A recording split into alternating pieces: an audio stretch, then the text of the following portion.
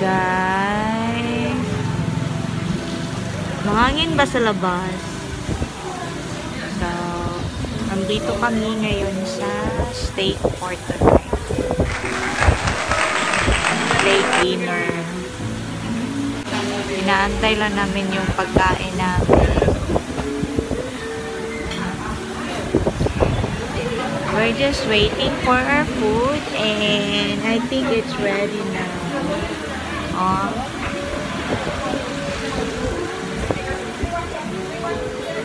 Very affordable siya, Wow. guys.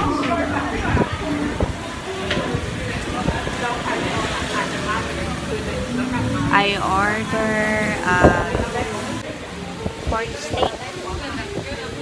Be, pork steak to akong order no. Nakalimutan po ko. And Chopel order um, pork shoulder steak. So, habang inaantay namin guys, chikadora din yung tagaluto. Pag wala ang am, busy din sila chismis. So, I order ka kapuna ka I order garlic bread and it costs only 29 baht.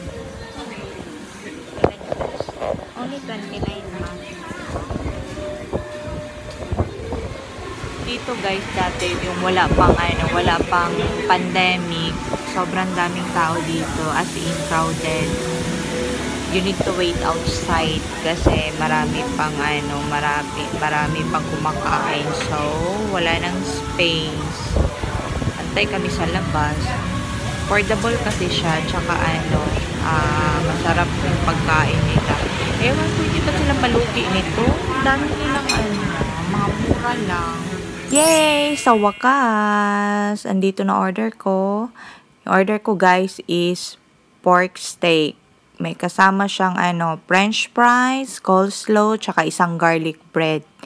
And then, super ano siya guys, super mura siya guys.